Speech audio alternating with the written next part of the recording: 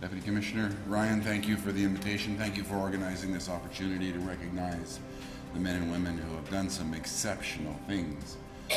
And it gives me an opportunity to come up here and talk to you for a moment about just how proud the organization is of what you've done.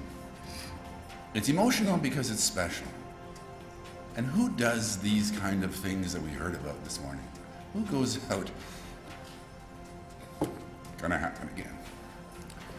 Who goes out on an ice floe to save somebody? And who tries to talk somebody who wants to hurt themselves? Who does that? Who tries to talk them out of hurting themselves at their own risk?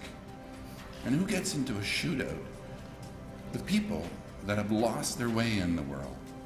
Who does that? And who goes the extra mile to do the investigations that bring confidence to an ordered and just society?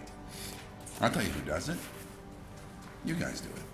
It takes bravery to go out there day in and day out in a world that is changing. And I think we all recognize that it's changing. And the only thing that stands between those people who would have chaos reign upon our fellow Canadians is us, is you.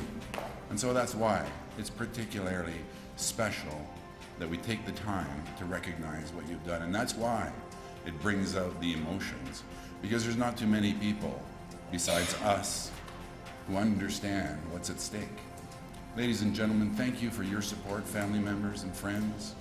Thank you very much on behalf of the men and women who make up this force and Canada.